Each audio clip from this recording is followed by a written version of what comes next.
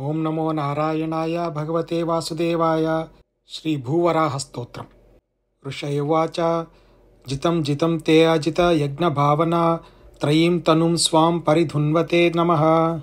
यद्रोमगर्तेषु निलिल्युर्रध्वराः तस्मै नमः कारणसूकराय ते।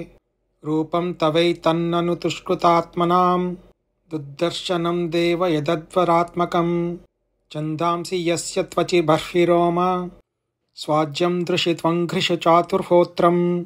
सृक्तुण्ड आसीत् स्रुव ईशनाशयोरिडोदरे चमसा कर्णरन्ध्रे। प्राशित्रमासे ग्रसने ग्रहास्तु ते, यच्चर्वणन्ते भगवन्नग्निहोत्रम् दीक्षानुजन्मोपसदः शिरोधरं त्वं प्रायणीयो जिह्वाप्रवर्गस्तव शीर्षकं क्रतो सभ्यावसध्यं चितयो असवोहिते सोमस्तु रेतः सवनान्यवस्थितिः संस्थाविभेदास्तव देवदातवः। सत्राणि सर्वाणि शरीरसन्धिस्त्वं सर्वयज्ञक्रतुरिष्टिबन्धनः।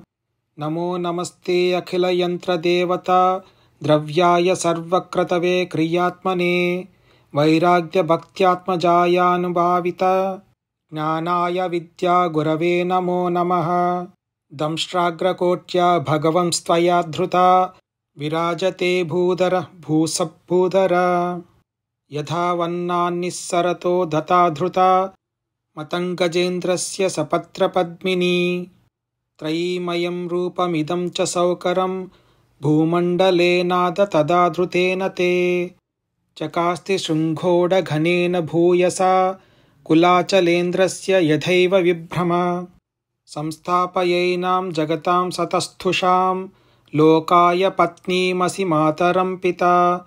विधेम चास्यै नमसा सह त्वया यस्यां स्वतेजोऽग्निमिवारणावथा कः श्रद्धद्दीतान्यत्तमस्तव प्रभो रसां गताय भुव उद्विबर्हणम् न विस्मयोऽसौ त्वयि विश्वविस्मये यो माययेदं सत्सृजेति विस्मयम्।